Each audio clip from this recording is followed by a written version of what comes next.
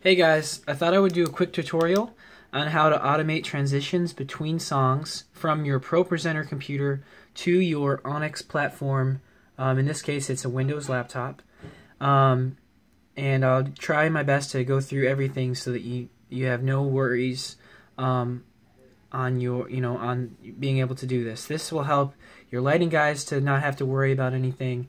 It makes your transitions seamless between with your lights and your ProPresenter slides and it makes life just a lot easier. And uh, we did it at church today and had no problems whatsoever. And so I'm really excited about it. Um, so you'll need to have, I want to break it down into steps. So the first step is to get both computers talking to each other. In order to do that, you will want to connect both of them to the same router.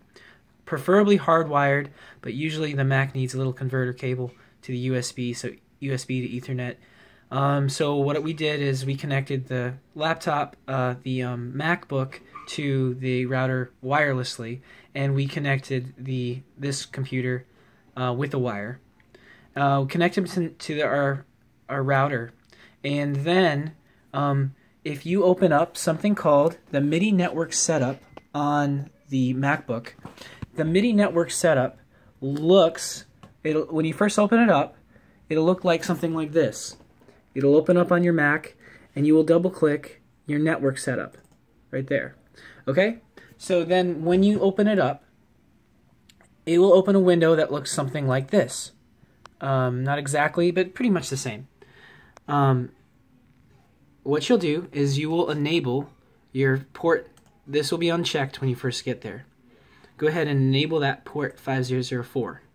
Once you do that, um, you'll need to download something called RTP MIDI on your Windows computer. So to do that, it's pretty simple. Uh, I did a Google search to make sure I could find it again. RTP MIDI on Google. And that will open up this window here, and you can download right here. That will open up this program here. And when you have both programs running and both computers are connected to the same router, you'll see them in the directory. So you'd click on the other computer and you'd hit connect. That computer would show up in the right window here as the participants. And once they're both connected, you got you have them talking to each other, and that's the step one of getting everything to work properly. Step two is to send the MIDI cues out from the uh, from the MacBook laptop to the to the um, to the lighting computer. So in order to do that, what you'll need to do is go into your preferences from your um, ProPresenter. No, I'm not saying ProPresenter. Is that right? Anyways, you go into your preferences, um, and you will have, you need to download something called a MIDI module. You can and you can use the demo for free, but it just put a water puts a watermark on your slides. So you can use it for free to see if it works, and then you can buy it. It's a hundred dollars um, to buy, but it's definitely worth it in order to get your show more seamless and uh, make things a lot easier for everybody. Um, so then what you do is, um, that's don't worry about the other notes. So once you down get the MIDI module working, then it'll enable you to uh, add media cues. And I'll show you something that looks like it. This it's not the communication module, but it's something similar. You would right click your slide and you would add cue. I don't think you would add a media cue, but you'd add uh, something similar to like a, it would be like a MIDI cue, not necessarily the communications MIDI cue, but a MIDI cue will be enabled. You when you first, if you don't have the MIDI module, it'll be grayed out and you won't be able to use it. Once you open that up, you'll get another window that looks some, something like this. This will allow you to send. Okay, so you said MIDI note on, um, and this is actually too simple. So I wrote something similar down here you'll have channel 1, you want to leave that at channel 1, and you want, say, start your note from 0 or 1, whatever you want, 1, 2, 3, 4, leave your intensity at 1, and you, so from your first, um, from your, pre, from your uh, video to your first song, let's say, you say, okay, let's do channel, let's do note, let's do note 0, so that's note 0 right there. Um, then, what you do is, is this is where you go to your Onyx program. And I'm going to show you what to do at this point. So you're going to make a blank cue right here. So I'm just going to hit record and hit hit one of my banks. And I'm just going to say, okay, um, let's do MIDI, MIDI example. Just record a cue here. And I'm going to go active cue list only. So now we have this blank cue.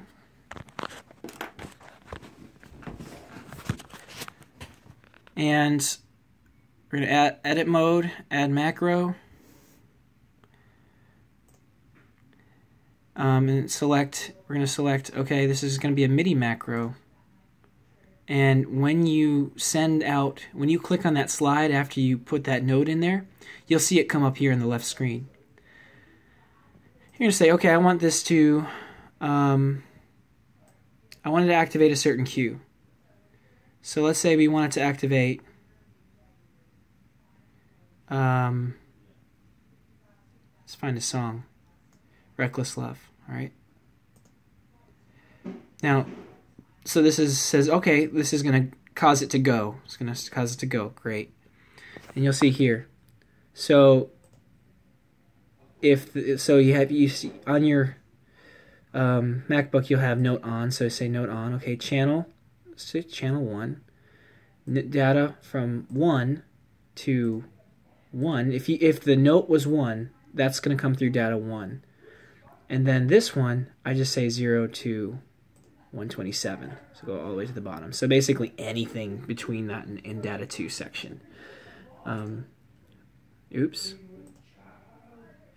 uh, sorry okay alright so there we go we're gonna hit apply and now um, this is going to cause Reckless Love to start as soon as that person clicks on that slide. Um, every time that, that note is pressed, it'll send this out and it'll cause this Reckless Love Xmas uh, to, to start up. Um, and so when, when you start, and then you want to, then you, what you want to do is you want to double click or right click that and open up your uh, options list here, you want to say startup boot active. That way, when you start up the computer, see this needs needs to start running at some point for the MIDI cue to work.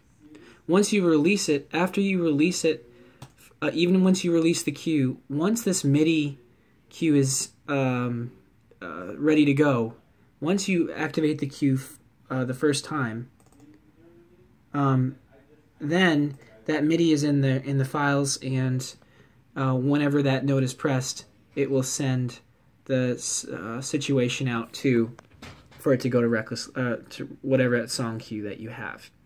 So I'm going to go ahead and remove delete this cue. Now you know how to do that.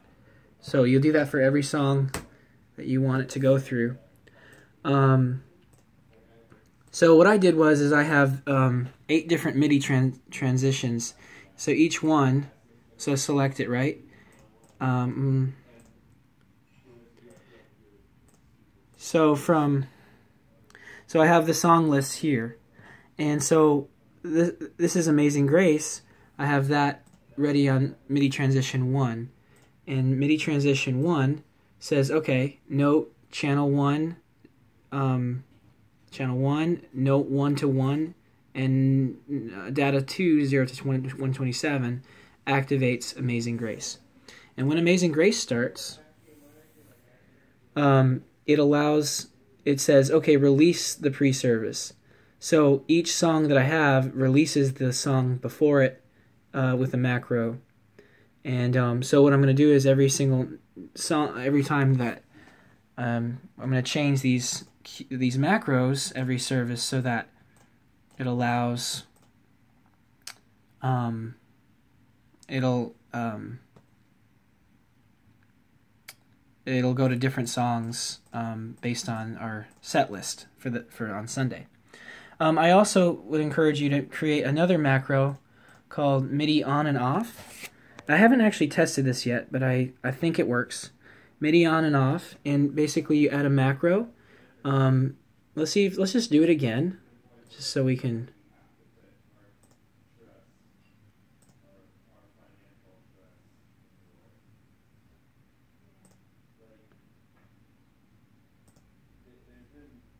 Um, disable and enable. So enable, apply. So basically you can just cycle through this cue and enable and or disable um, that cue. So that's how you do MIDI macro transitions. Um, download RTP MIDI, download MIDI, get the MIDI module working, connect them, make them make them uh, talk to each other, and um, get that working. Um, another thing is, um, yeah, just make sure you have it auto start in the beginning. Otherwise, nothing they won't work. And you can release them after, and um, just make sure that um,